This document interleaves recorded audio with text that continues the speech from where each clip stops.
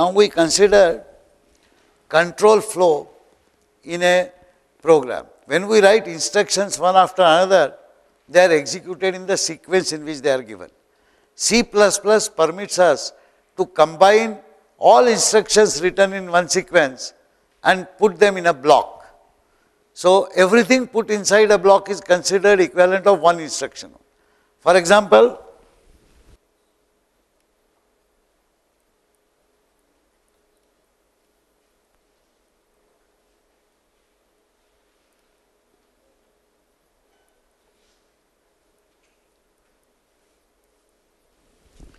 These are three instructions.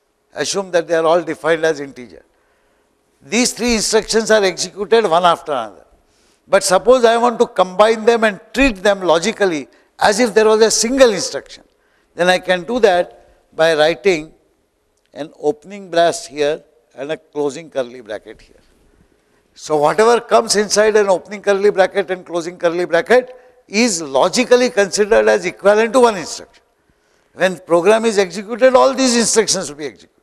In fact, C++ says it doesn't matter what kind of instructions you put inside opening curly bracket and last curly bracket. There may be if then else, there may be conditional, there may be iteration, whatever, whatever. All of that is treated as one block and equivalent of one instruction. Therefore, whenever C++ permits you to write one instruction, and if you have to write more instead of one, you always put a block. Start, end. So, all that is equivalent of logically one instruction. Is that clear? This is how the sequential instructions are But sometimes I want to execute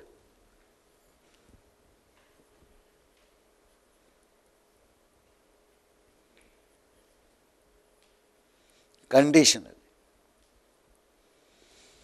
Just to recall the flow chart, suppose I have a flow chart which says read x and y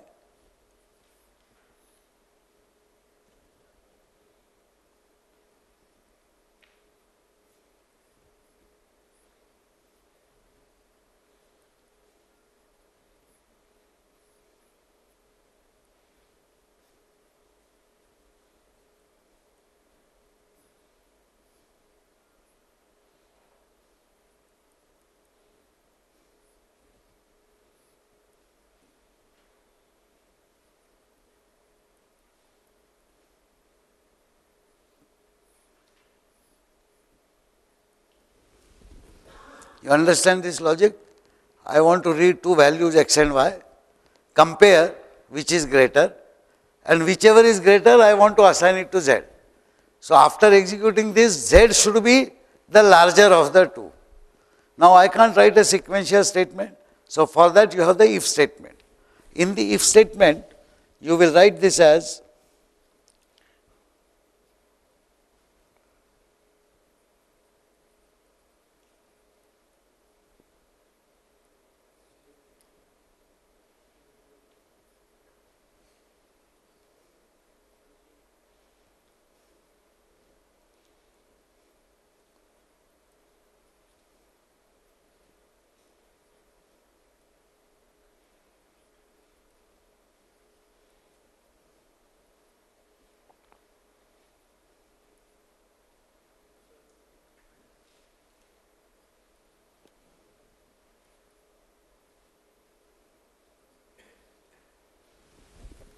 Is this clear to everybody?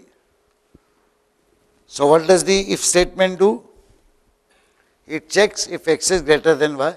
Only if that condition is true, it will execute that statement. If that condition is not true, it will execute the statement written after else. Okay?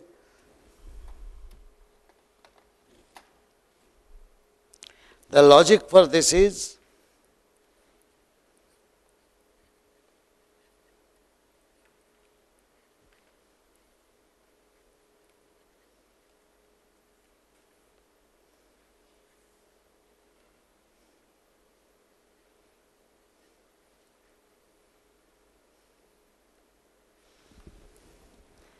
Now, this is very important to note that the if statement permits exactly one statement to be written after if and exactly one statement to be written after else.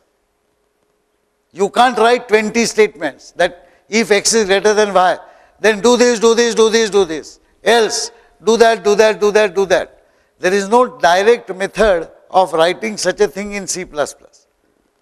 You can write if x greater than y, do this. Else, do that. That's all. This and that, one statement only.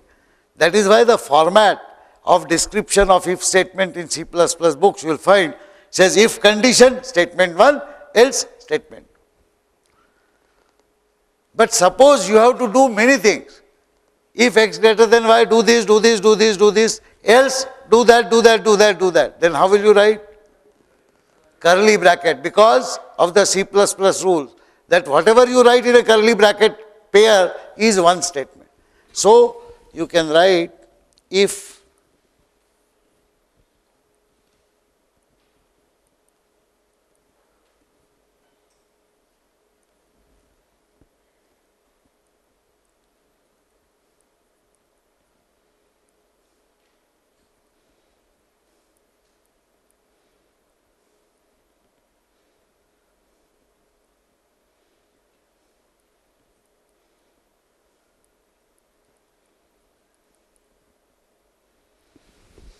You understood this?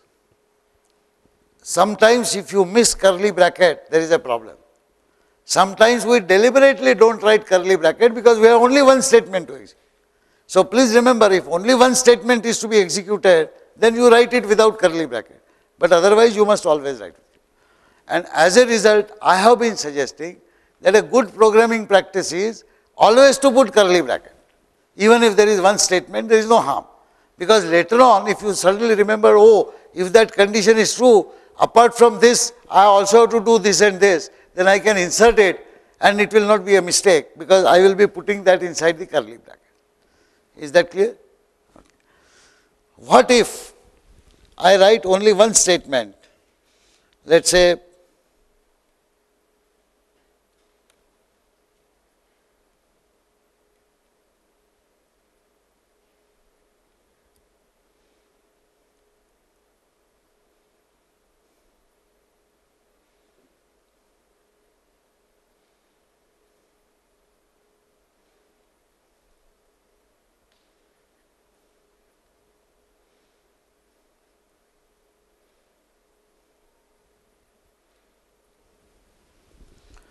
What will this program do? It will read two values, m and n. If m is greater than n, then p is equal to m and output p. So, suppose the values given are say 7 and 5. What will happen? What will be the output produced? Huh? P is equal to 7. So, output will be 7. Suppose the value given is 2 and 9. Now what will happen?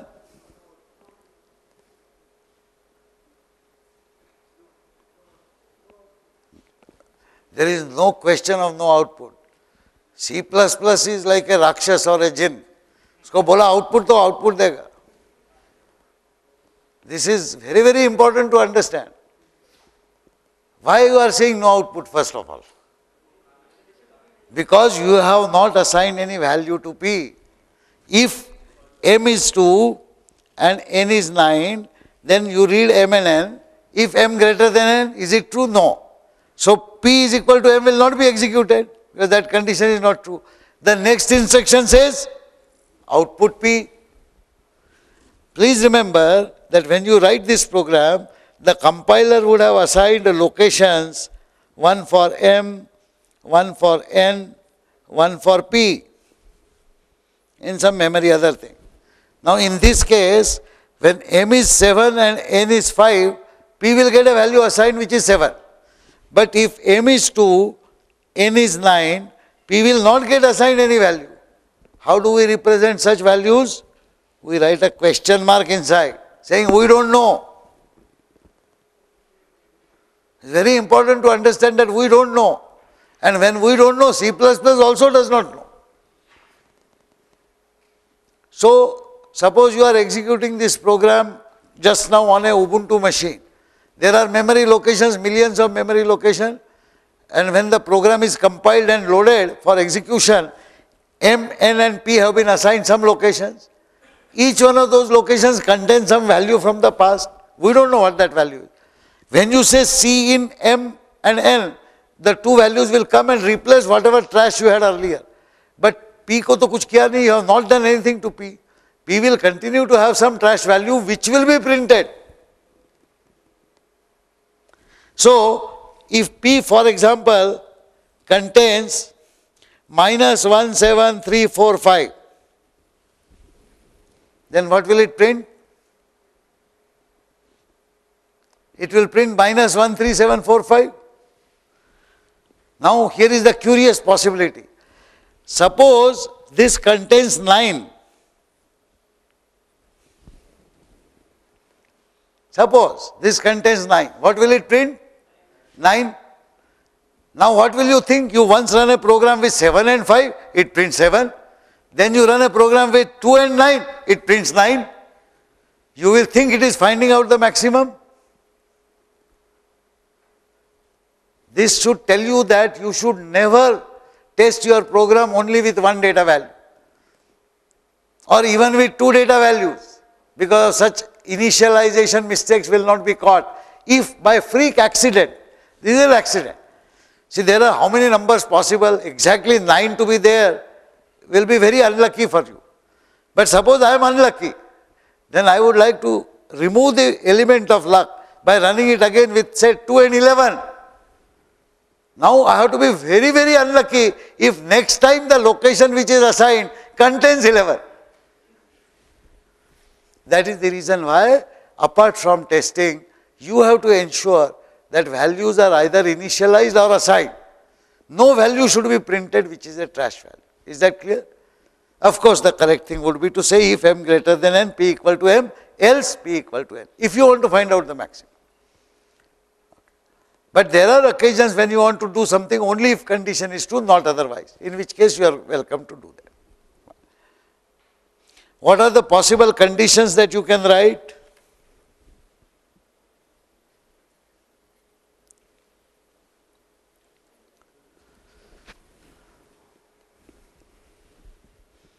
Greater than, less than, greater than equal to, less than equal to? Can I write equal to? No. If I want to compare whether m is equal to n,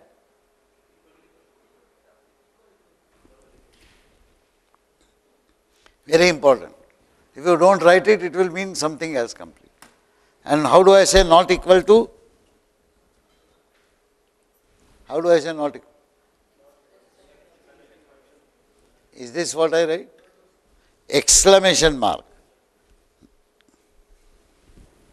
Okay. So please remember these are basic comparison operators.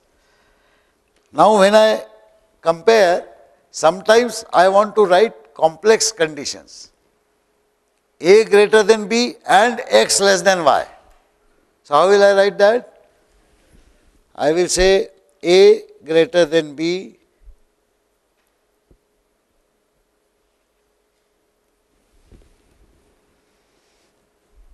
Now, how do you know that it will not do B and and Y, B and and X?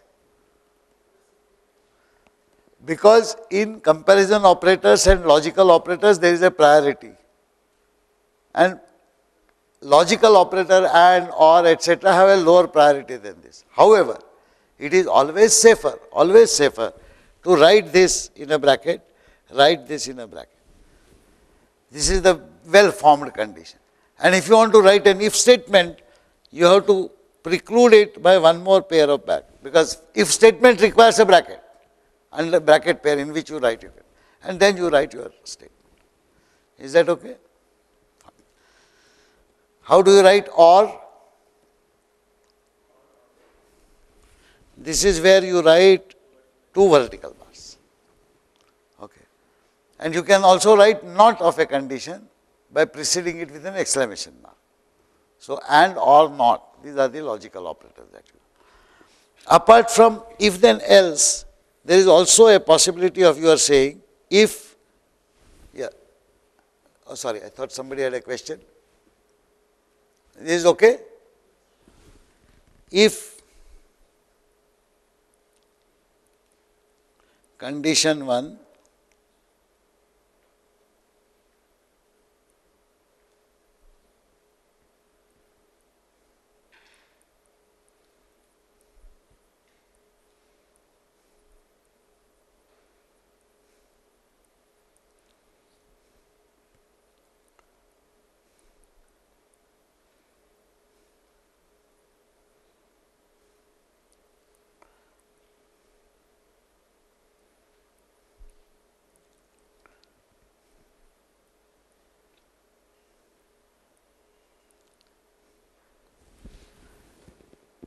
What will be the meaning of this? If first condition is true, you execute else S1. If the first condition is not true, then only you come down. Now you examine condition 2. If condition is true, then you execute S2. Else, when you come here, please note that both condition 1 is must be not true and condition 2 also must be not true. Then only you will come here.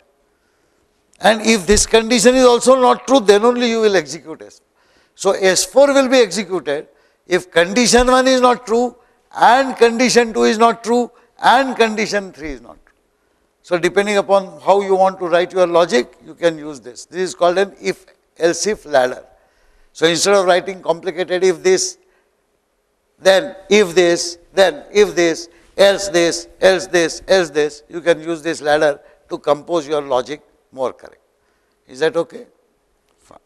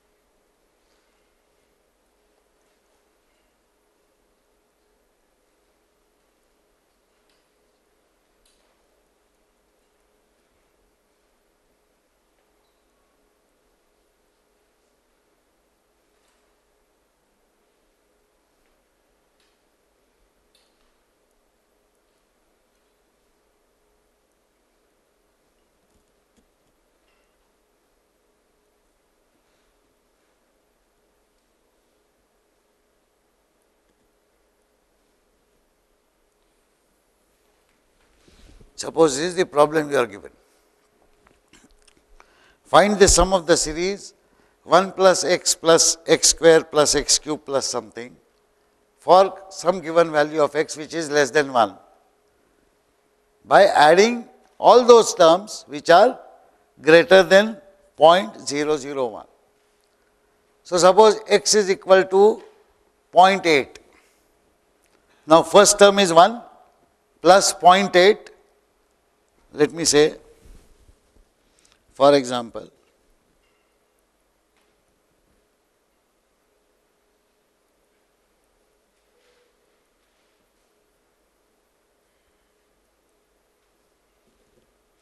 then we have to add 1 plus 0.8 plus 0.8 square. How much will it be? Point 6 plus x cube.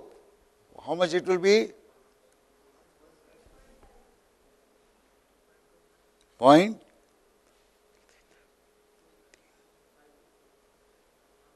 five point six four into point eight. So how much is it? This 524 or 512?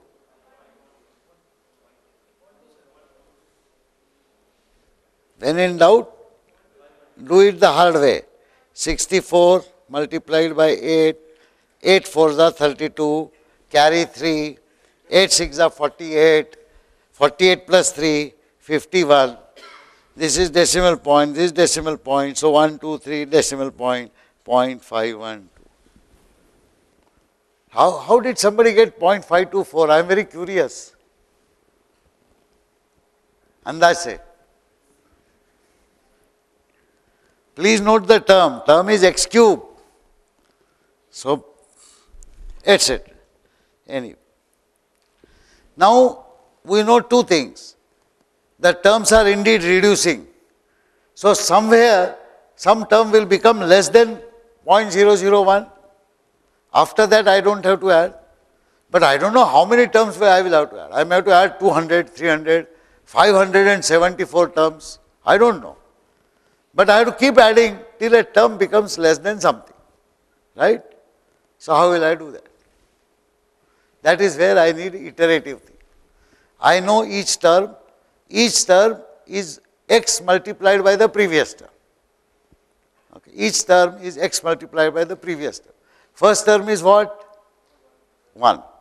So, now if I start with 1 and then keep adding new terms to the sum and finding new term. New term is equal to old term multiplied by x. If old term is 1, new term will be x. Next time, new term should become old term and this should be multiplied by x. So, if I say term is equal to term multiplied by x, every time I recalculate it, it will keep growing. This suggests to me that if I define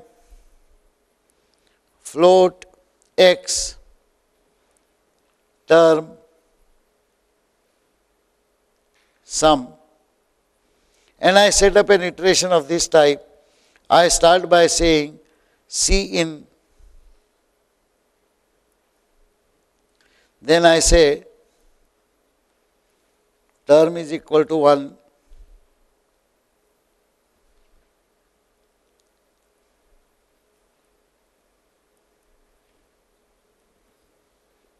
or if you want 0.0, better way of writing it.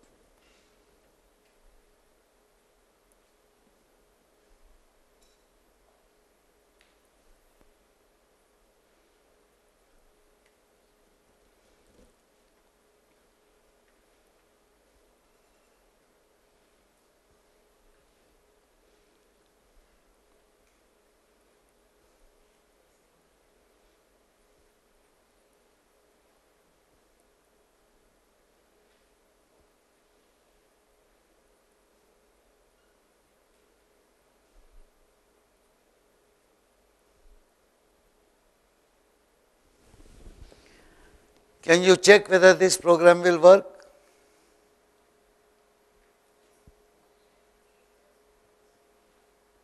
First of all, tell me whether you understand what this program will do. It is setting up an iteration. It says while term is greater than 0.001, keep on doing this. What am I doing? This means what? I do two things. One, whatever is the term which is greater than 001, I add it to sum and I prepare the next term for the next iteration. So I multiply the present term by x, it will become term into x, that is the new term. And when I go back to the next iteration, that term will be examined. If you have any doubt, you should always write values of term and sum and find out what will happen. So let's execute this algorithm. Let us assume that C in as input is given 0.8. So I write term is 1, sum is 0 and x is 0.8. Agreed the first three statements C in x will get you x as 0.8, term is equal to 1 will get you term as 1 Sum is equal to 0.0 will get you sum as 0.0. Fine. Now I come to while. While term greater than 0.001. Is term greater than 0.001? Of course, it is 1. So yes, Therefore, I go inside the loop. Inside the loop, what do I do? Sum is equal to sum plus term. So what will happen? Sum is 0, term is 1. This will be replaced by 1. Sum is equal to sum plus term. The next statement says term is equal to term into x. So what will happen to term? Term is 1, 1 into 0.8, so it will be 0.8. Now I come to closing curly bracket. Closing curly bracket means what? Iteration is over. Go back and check the condition again. So I go back and check what condition is term greater than 0.001. It is, what is my term? 0.8. So I come inside the iteration again. This time what is the statement? Same statement is executed, which is sum is equal to sum plus term. So what is sum? 1. Term 0.8. So what will be the sum? 1.8. Again term is recast. Term is equal to term into x. So this will become how much? 0.64. And again I come to the closing curly bracket. I am thrown back again. Examine term. Term is 0.64 greater than 0.001. Come inside the iteration. Sum is equal to sum plus term. This time it will become how much? 1 point 2 point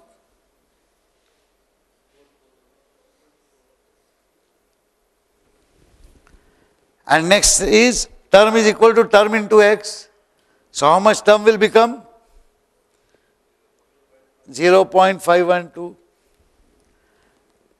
We do it just only this much. But we now confirm, one, terms are getting correctly calculated and they are getting correctly added. So now let this iteration run. Let it calculate thousand terms. I don't have to do Godagiri of thousand additions myself, but program will work correct. Do you see how, how such iterations are to be set up? Okay. Suppose I want to set up an iteration which will add n terms where n is given to you. Say n is 5000. Somebody says add 5000 terms. I don't care what is the last term Add 5000 terms or add 250 terms. So if I have to do that, how will I set up the iteration?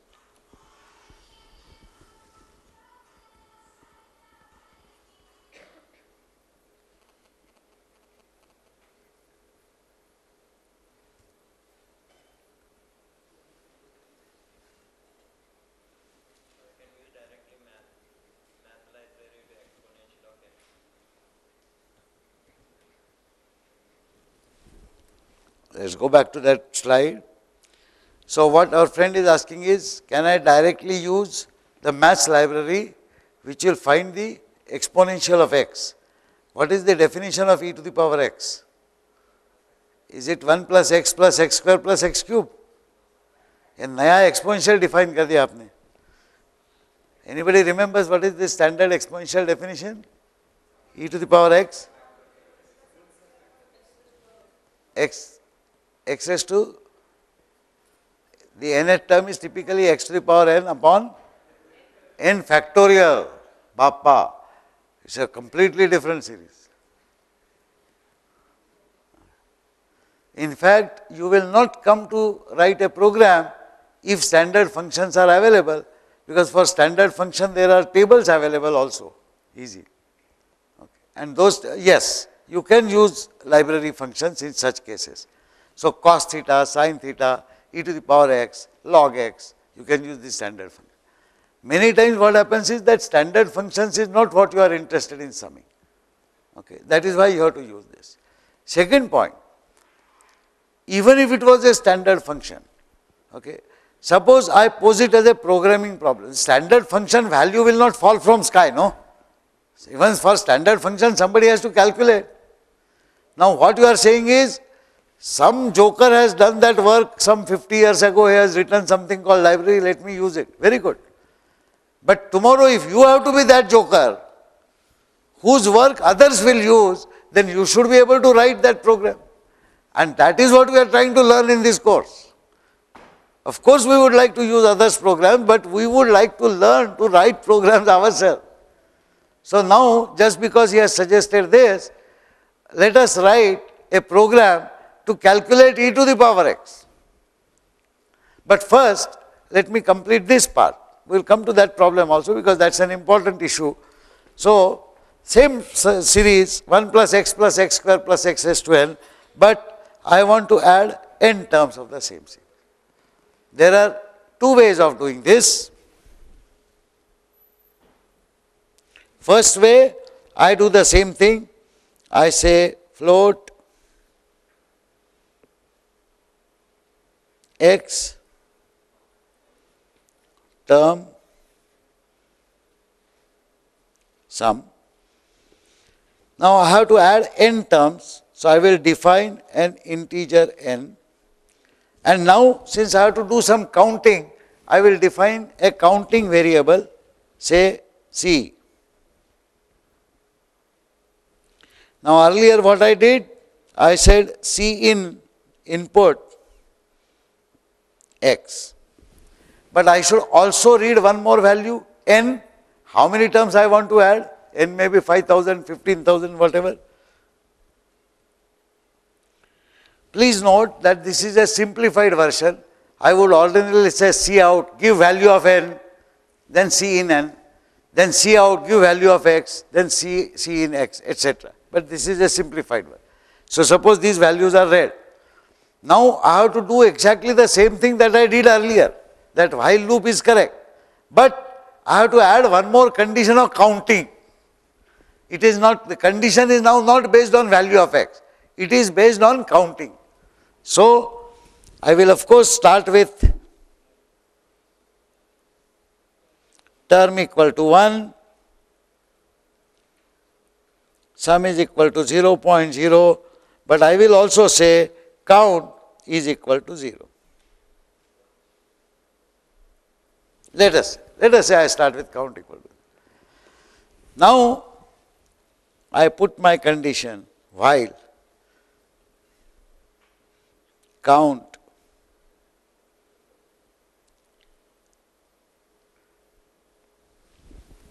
I want to add n times my addition and term calculation is going to be same. But let me try to put this here. C is initially 0. Let's say n is 10. So 0 is less than 10. I will necessarily come inside. I will add the first term that I have calculated earlier. Sum is equal to sum plus term. And then I recalculated term is equal to term multiplied by x.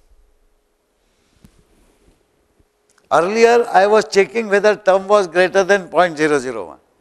Now term has no role in decision making. I am counting. So obviously once I do something I should increase the count.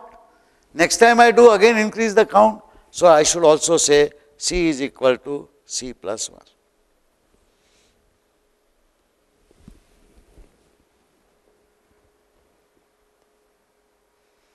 Now let us see how it will execute. Let us assume n is equal to 3. I want to add 3 terms. Let us confirm whether this will add 3 terms or not. First time, C is 0, you come inside, what you are doing, sum is equal to sum plus term. You are adding the first term. Now you increase the term, C becomes now C plus 1, which is 1. Is 1 less than 3? Yes. You will again come inside. Now this time you will add 1 plus x because term would have become x. Again c becomes 2. Is c greater than uh, less than 3? Yes. Again third time you come inside. Term is added 1 plus x plus x square. Term now becomes x cube. Okay. c becomes 3. You go back. Is 3 less than 3? No. So you will come out. So it is correctly adding. The point is you want to do it three times. So you can count 0, 1, 2 or you can even count 5, 6, 7. From 5 you can start counting up to 7. But since n is given, the upper limit is known to you in terms of n. You can either start from 0 and count up to n minus 1 or you can start with 1 and count up to equal to n. So as long as it is less than equal to n you can continue. So 1 to less than equal to n or 0 to less than n both are equal. Okay. Now the second way of writing this is all of this will remain same same same same here I will simply say term is equal to 1 sum is equal to 0 0.0 and now I will say for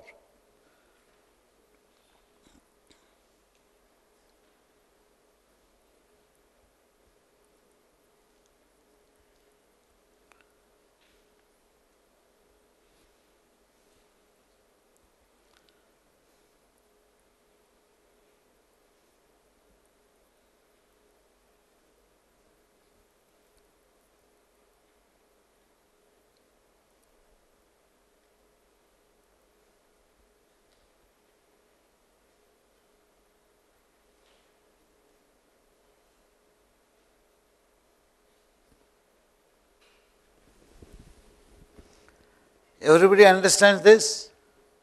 This is the for loop, counting loop. Note that there are three things specified in this loop. One is this, second is this, third is this. This is executed before you enter the loop only once, first time, before you come to the for statement itself, c equal to 0 is executed. This is exactly equivalent to doing it here. They are equivalent c equal to 0 specifying here and writing c equal to 0 in a statement before you come to while is exactly. Next, you check c less than n, that is the while equivalent. While c less than n, do this. So, the second part in the for is the condition. The third part is the increment part which is executed at the end. So, whatever you have written here, this is to be written here. So, these are equivalent. Understood? This is very simple and a straightforward counting iteration. And in fact, when we use arrays, we extensively use this construct. But there can be many variations in this construct. For example, the simplest variation is you rarely write C equal to C plus 1. What do you write instead? C plus plus, not the C plus plus compiler, but variable C incremented by 1. Okay.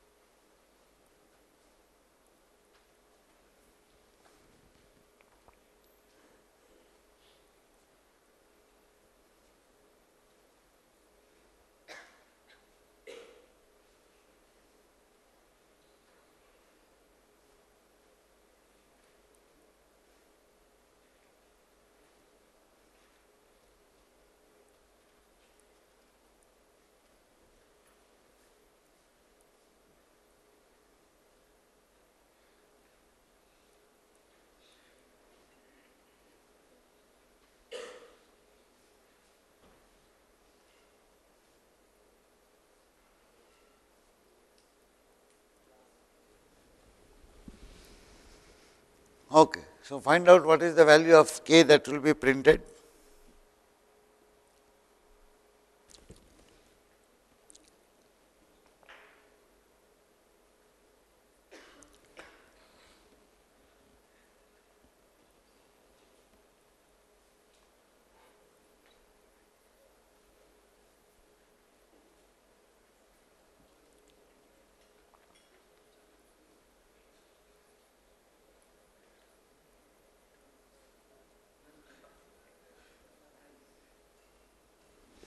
What's your answer? Everybody? Why? K has not been initialized.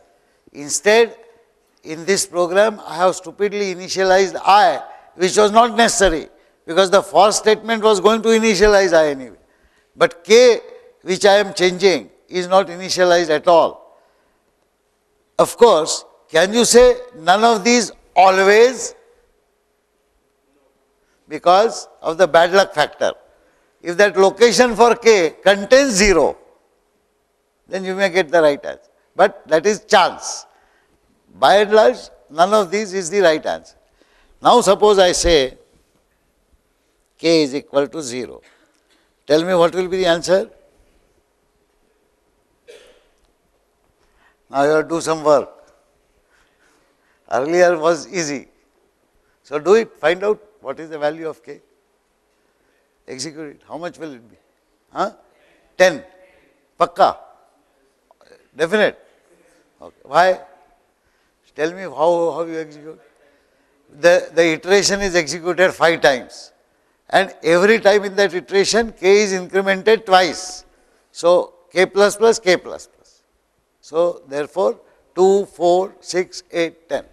Okay. If you have understood this counting, you have understood everything because that is how the iterations work. You have to find out how many times that iteration executes and those many times the internal statements will be executed, you will be able to find out. There is another uh, form of uh, iteration which is not very often used, but it is also equally important and that iteration is of the type do something something something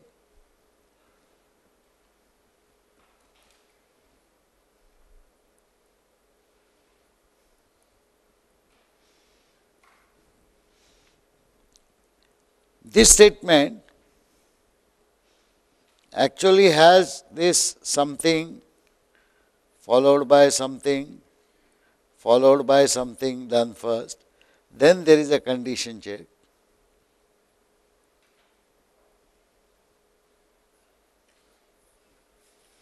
And if the condition is true, you go back here. If the condition is false, you come out here. So, what is the difference between this and the while? The while condition is checked before you enter the iteration. Here, the condition is checked at the end of the iteration.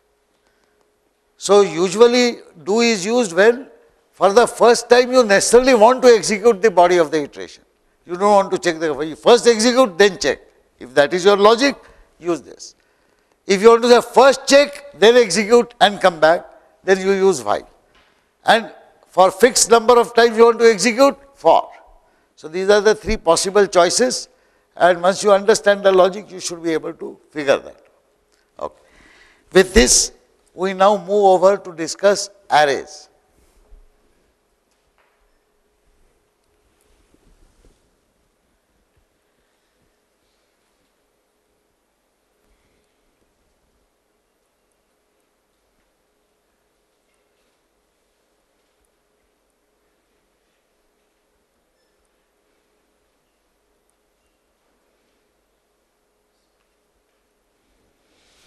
When I declare something like this, what happens?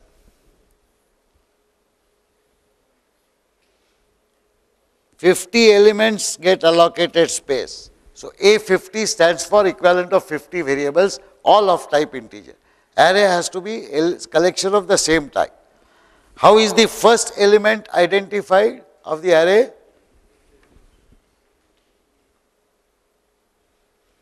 And the last element is identified as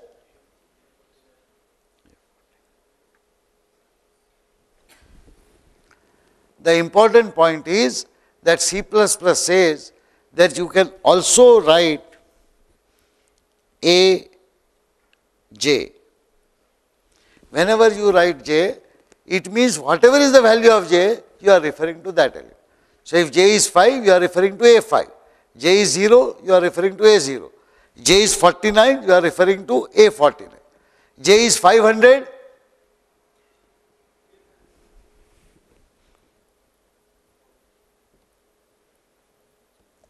What are you referring? Error? Question, what will happen? What does C++ do? Sorry? Garbage value from where? See, garbage value is used in your program if the location that you have defined has not been initialized by you. Some old value will be there. But A500, some old value where? Earlier it was say N or X or something. So there was a location. What is A500? The location itself is not defined, so what will C++ do? No, it will not show an error. He is right, but he is not completely right. What C++ does is important to understand. C++ does not show an error. C++ unfortunately while executing your program does not do checking whether your index is within the range 0 to 49 or not. That is your responsibility.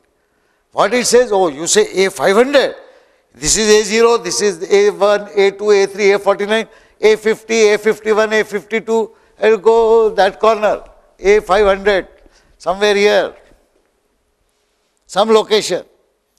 In this location, you might have a floating point variable z.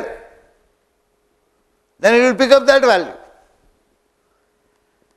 Worse, this location may not be in your program. It may be his program. He is executing something and he has some n or something, okay, or some p, or whatever. Now, if memory is not protected, your memory and his memory separately, for computer is all one memory. So, you will say Aj is equal to minus 5. And in his program, some variable will become minus 5. Is that okay? Maybe okay for you, but not for him. So, that is why computer systems protect programs and they say this is your segment of memory, that is his segment of memory. And you cannot go into his segment of memory. So that is why you sometimes get a fault called segmentation fault. Segmentation error, segmentation means you are exceeding, Baba, tera ghar hai, you, you, this is your house, that is his house. You are not permitted to uh, eat in your house and go there to sleep. You have to stay in your house only. So segmentation. Fault. But if the index is exceeded by some small value, typically by one value, say it becomes, instead of 0, it becomes minus 1. Instead of 49, it becomes 50. Then invariably, you will still be within your segment. And it may create a problem. So your responsibility to ensure that the array index always remains between 0 and maximum limit minus 1. That is your responsibility. Understood? Never make this error. So particularly when you say J and such things, then you have a problem of this. Okay. Let us now consider this array and my problem is put in values in successive elements of this array which is 5, 10, 15, 20, etc.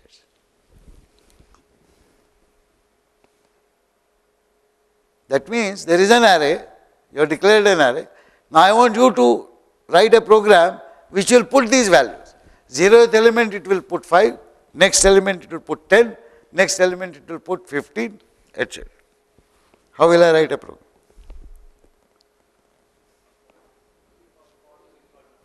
Okay. So I have let us say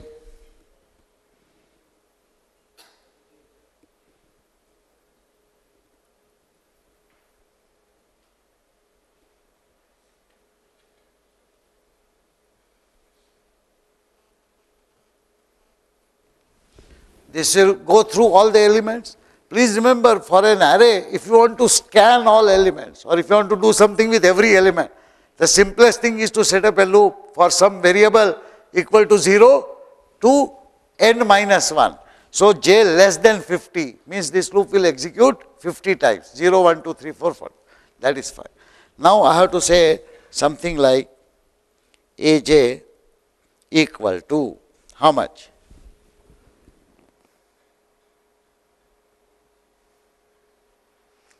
First time when it executes the iteration, what should be the value? j equal to 0. Yeah, but what should be the value of a0? 5. Next time it should be 10. So it is increasing every time 5 multiplied by 1, 5 multiplied by 2, 5 multiplied by 3, 1, 2, 3, 4 is 1 greater than j which is 0, 1, 2, 3. So suppose I said j plus 1 into 5. Will I get the correct value? Did you all think of this logic? No. That is the point. That is the way you have to think. That I want to get a series 5, 10, 15, 20. Then that series, what is the nth term or jth term? jth term is j plus 1 into 5. Once you get the jth term, you assign it. So this is how you can manipulate arrays. Is that, is that clear? Okay.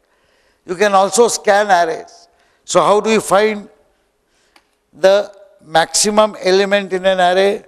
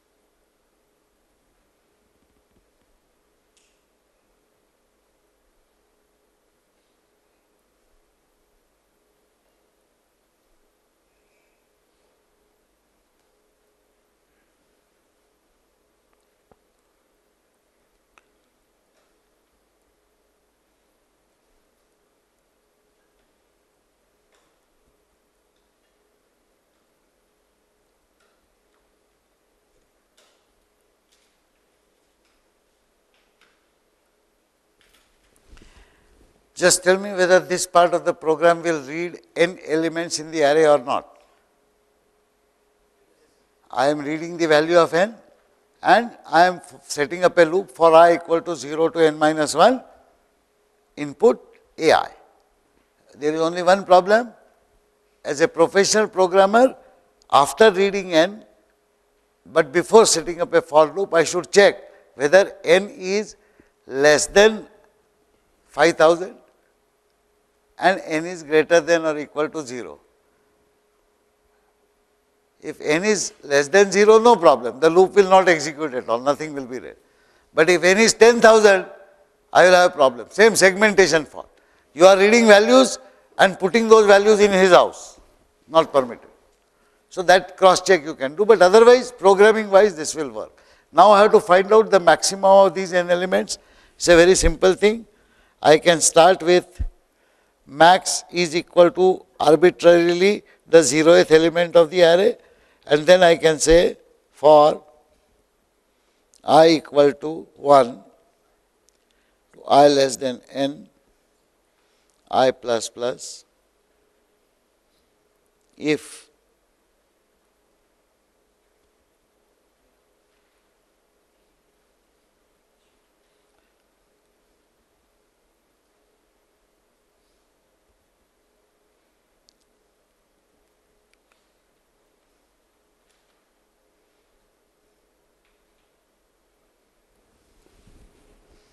Will this logic work? What we are doing is starting with max equal to 0 and then going through all the remaining elements 0, 1, 2, 3, 4, 5, 6. And if any one of those elements is greater than the current max, I replace max by that. So, I found that. Okay. Now, I will give you a slightly complicated example. Let us say this is the last example we discuss.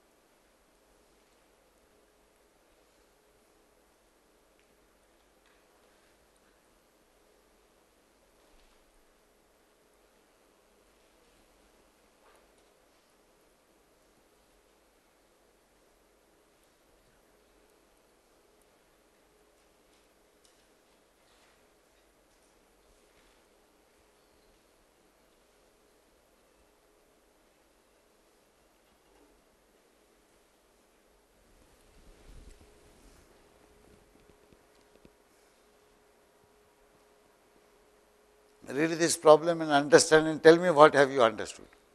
Try to construct a small example.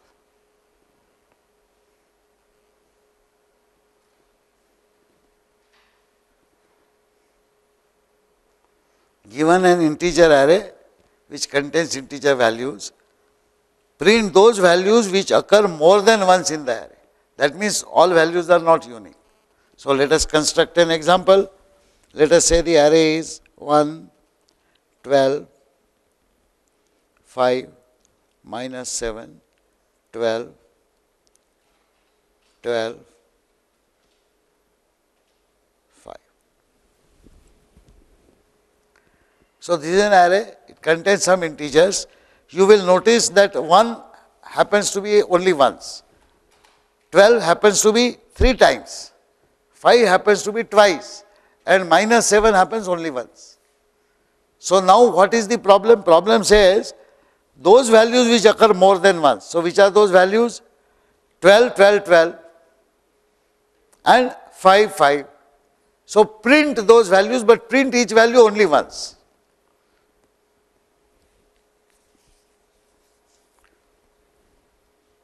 How will you solve this?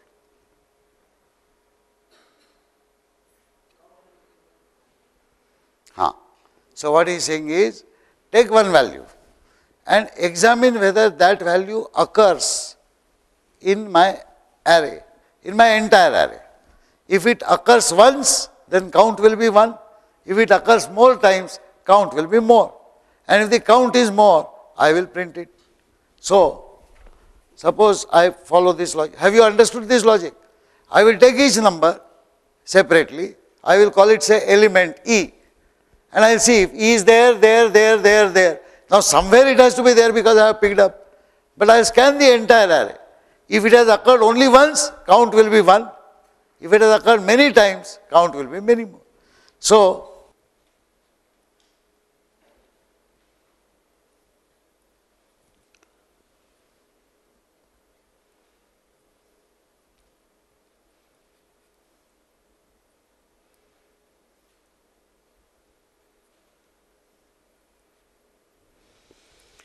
I will assume that I have read n elements into the array, like we had done that just now. Now I start this.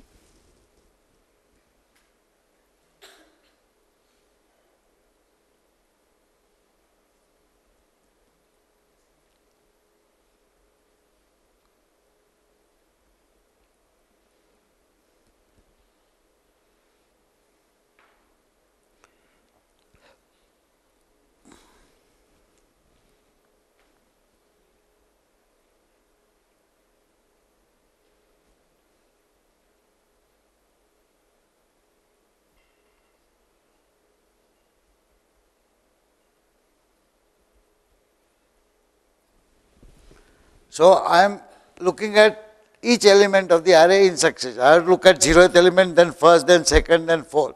Whichever element I am looking at, I am assigning it temporarily to a variable called EL. So EL is the element which I want to examine. If you look at this array 1, 12, 5, minus 7, 12, 12, 5, I will be examining 1, then I will examine 12, then I will examine 5, then I will examine minus 7, 12, etc. Each one in turn. And what I am going to do examination means take that element and check whether it exists anywhere in the array. So I want to, with respect to this element, I want to scan the entire array again. And wherever that any element is same as this, I want to increase the count. So I will set up another iteration which goes through the entire array once again. I will say now for j is equal to 0 to j less than n, j plus plus, if EL is equal to AJ, count plus plus,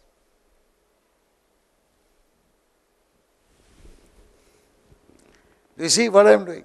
I have taken one EL. So, for example, suppose I am somewhere 1, 12, 5, minus 7. Suppose I am at minus 7. My I is 0, 1, 2, 3. For I equal to 3, EL will be what? Minus 7, A of minus 3. Now with minus 7, I start scanning the entire array for j equal to 0 to 7. So I'll check, is minus 7 equal to 1? Is minus 7 equal to 12? Is minus 7 equal to this? So if somewhere minus 7 will be equal to minus 7, count will become 1. Initially count was 0. Suppose I am examining 12, that is my i is equal to 1. When i is equal to 1, EL is how much? A1. A0 is 1, A1 is 12.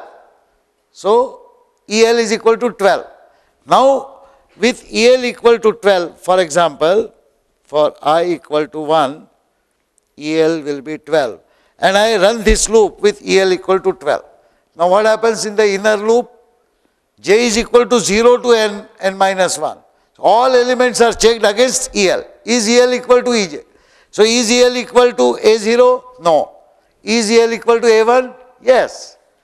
Count will become 1. Is EL equal to 5? No. Is EL equal to minus 7? No. Is EL equal to 12? Yes. Count will increase one more time. That means when I come out here, if count is 1, then that element has occurred only once. If count is more than 1, then that element has occurred many times. So, if count equal equal 1, then the element has occurred once, else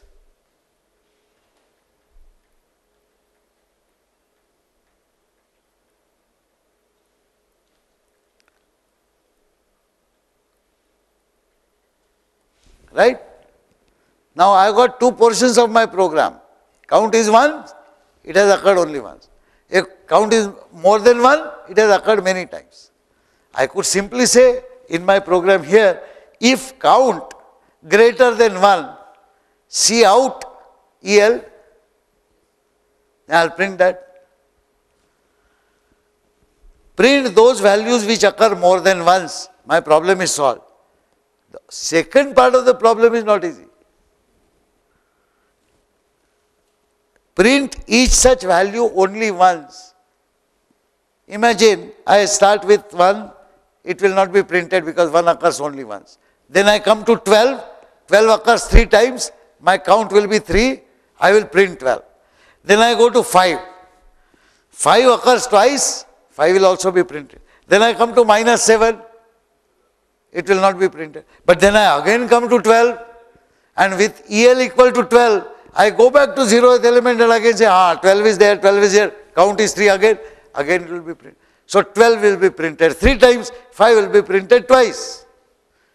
I have solved this problem partially, not fully. Sorry? Come again? No, break where? If I break, I will come out and I will not examine any element after that. And suppose there are some other elements, I will not get. So this is a hard problem. This is a hard problem. What you will have to do is, you will have to sort the array. You sort the array, ascending, descending order, whatever. Now you examine successive element, zeroth element, first element. Are they same? No, they are different. That different means that element is occurring only once. Forget that. Go to the next. Go to the next. But suppose you now find, oh, the next element is same. Now you stop there. You have found a fellow who is occurring many times. You print that fellow. But continue the checking. This fellow is same. Is this fellow also same? Is this because when you sort, all the same elements will come together. Now if 12 occurs three times, it will come together three times then only some other number will come. When a next number comes, you forget this and start checking again. However, if the problem is only this,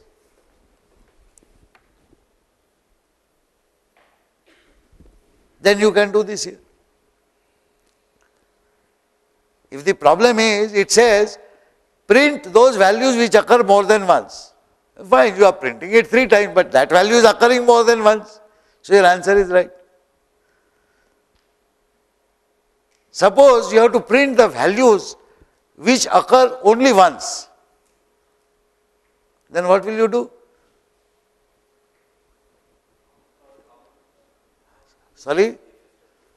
if count equal equal 1, cout that element EL and that will happen only once so that you have no worry about, you will never find it again. Suppose I said you take the values which occur uniquely and find their sum.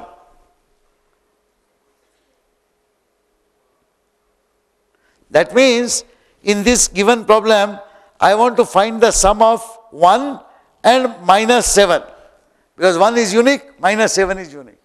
What can I do?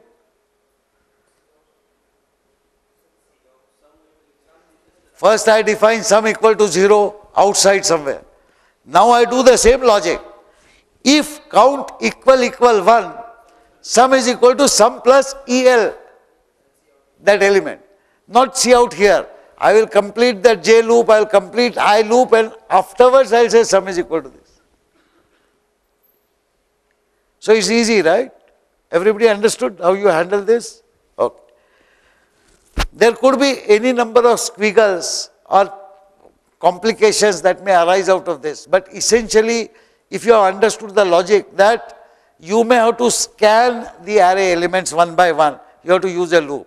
For a given element, you may have to again scan that array or some other array, you have to put an inner loop. And you may have inner loop, inner loop as many times as you want. The logic is that you should be careful about what is i, what is j, what is k, where you are using index and the logic should be when you should do what. For example, printing that sum. You can't print the sum here.